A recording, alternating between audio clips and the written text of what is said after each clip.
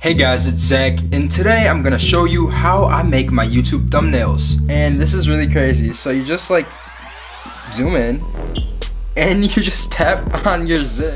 This will be helpful for you if you're starting your channel or you're thinking about starting a YouTube channel. It will just show you a way that you could possibly make your thumbnail. So making thumbnails probably seems like it's really simple, but it's actually a really complex process. I know you see all those other YouTubers cool thumbnails and it's just like nobody taught me how to do this. How do I do it? So that's how I was, and I had to figure everything out on my own. So the first step to making a thumbnail is selecting your picture. So you can do this one of two ways. You can either pick a still from your video, or you can have a photo shoot. And I have a photo shoot every time I do my thumbnails. So basically before I start filming, I just set my camera up and I just take about 30 pictures and then I decide which one I want to use after I'm done. This is like so cringy like doing it on video. But you guys get the point. That's how the photo shoot process goes. So after I have my little photo shoot, I go and record my video. I do the whole thing, finish it, and then when I take my SD card out of my camera and put it into my computer, uh, all my stuff pops up there. So all my photo shoot pictures plus the actual content that I took. So I will like take what I need from there and then I will go and look through all my photos and then I will go and select the best one. Alright, so now we're gonna move on to step two and this is one of the most important parts of making your thumbnail. This is gonna be editing your picture. So I got lucky and I found this app called Enlight. It's so amazing, it does everything that I need to do and I'll show you guys how it works. So let's go on my phone. The first thing I do is go to my email because I sent the two pictures to my email from my computer. So I'm going to select them and save them. Super quick, super easy. After we do that, we go into our photos and click on them we're gonna need to size these appropriately so that they actually fit on our YouTube thumbnail and they actually upload. This is so crazy. Like, no one ever told me the correct YouTube size. I never know. Like, we don't learn these things. We have to figure this out on our own.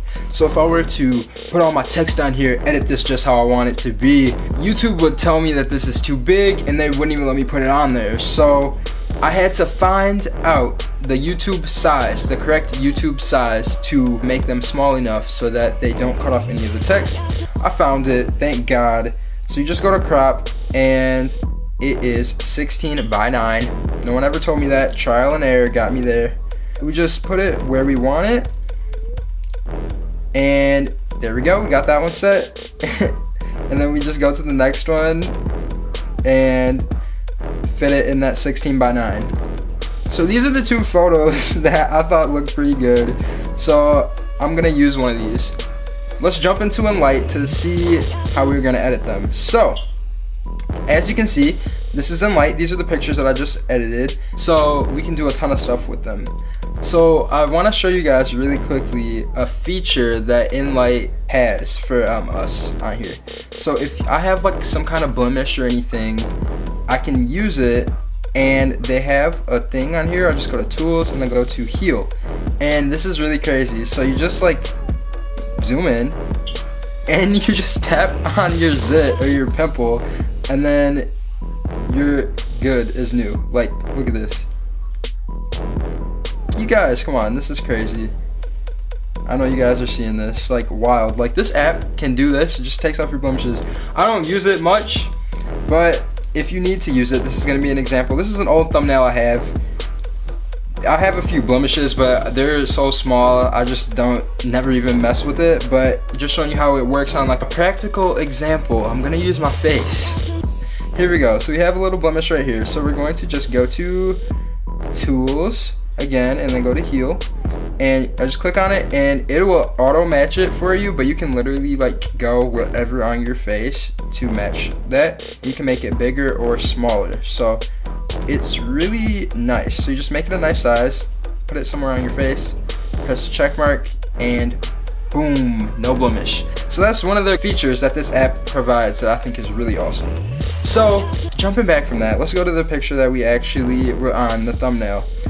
So I think I'm gonna go with this one. After looking at both of them, I like them both, but I feel like this one is just a little bit more a little bit more crazy, a little bit more flavor. I'm feeling it. I'm feeling it. So we're gonna go to this one. So the first thing I always do, I go to image right here and then I go to adjust. So they have all of these pre-built features. I usually use Vivid, so let's go and find it.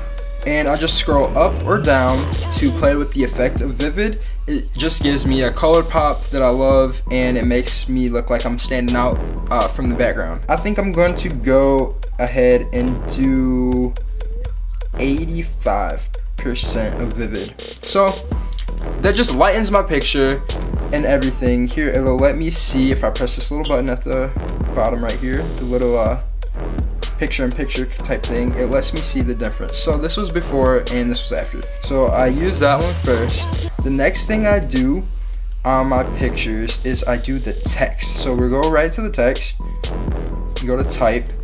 So this video is going to be about making a thumbnail. So I'm going to do making,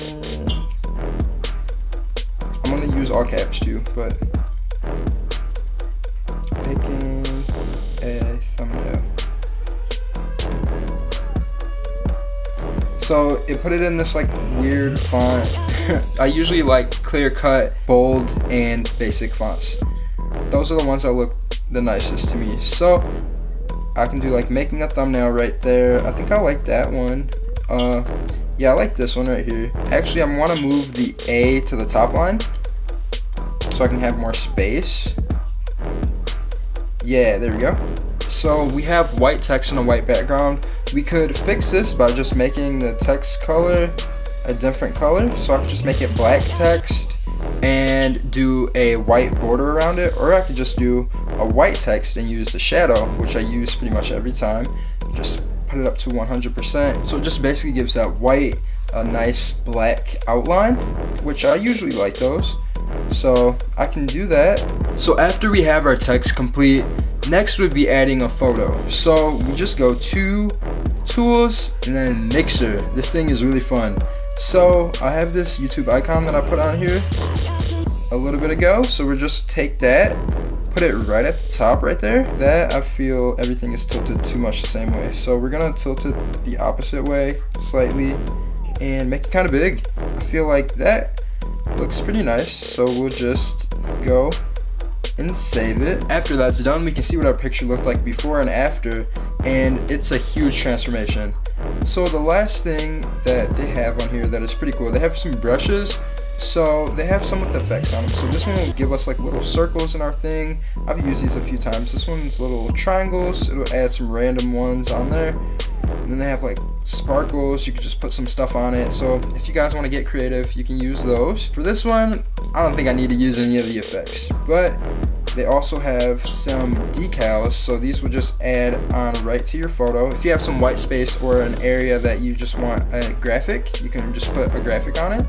And again, I don't think I need a graphic uh, on here, so I'm not going to use one. I actually really like how this turned out, and I think that I'm going to keep it. So, just showing you, that was how we started.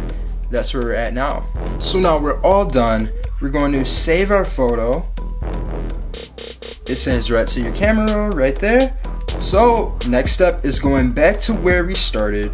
We're going to go to our email, make a new message, just do a reply. And this part is actually crucial, so listen up. So you just insert photo or video. Let's go and insert the picture that we just saved, our thumbnail. And when you send it, it's gonna ask you small, medium, large, or actual size. Make sure that you click medium. I've done large, I've done actual size. These ones don't really work that well, and YouTube usually can't upload them just because if the picture is such high quality, it can't take all of the pixels in the YouTube regulated thumbnail size. So I found that medium works and it's amazing, it looks fine, everything's good. So after you do that, you just save the picture to your computer, you can save it to desktop, you can save it to photos, anywhere, and you just go on YouTube, upload your video and it'll have a option to replace the thumbnail replace it grab your picture get it in there and you have your thumbnail all set so that is how I personally make my thumbnails. The app Enlight is great. I got it for free during the free app of the week promotional week. So look out for those. If you ever see Enlight on there for free, grab it up. But other than that, it's $3.99. It's definitely worth the investment if you ask me. You can do a ton of stuff on the app. And I was never really told how to make a thumbnail, the apps to get, what to do, the process, all that stuff. So I just wanted to make this to get this out there to anybody that is actually looking how to make a thumbnail successfully. I hope that you guys learned something today from this video. I'll be making more how-to videos in the future, so definitely keep an eye out for those and I'll see you guys soon.